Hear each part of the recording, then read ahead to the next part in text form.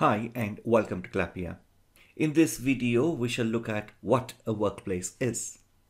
Workplace is a collection of users and Clappia applications that belong to a single company or organization.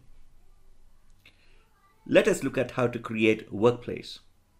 On the Clappia website, click on uh, sign up for free and you can provide your details here or use Google to sign up with Clappia. I'm signing up using a Google account.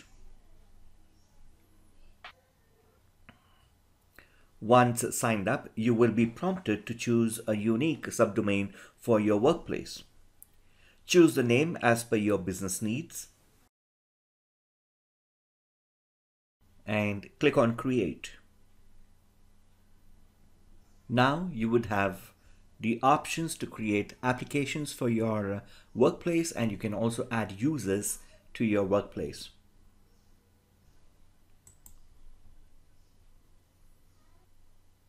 You can go ahead and click on a new app and create application or you can go ahead and configure your workplace by adding users and setting up preferences for your workplace.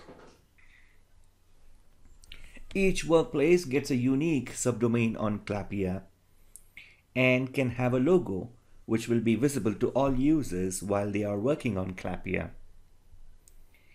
And the workplace admins can add or remove users from their company to the workplace.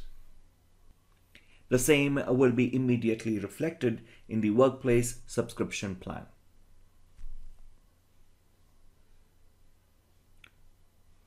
Great. So in this video, we have looked at how to log in to your workplace, how to sign up, and the key features of a workplace.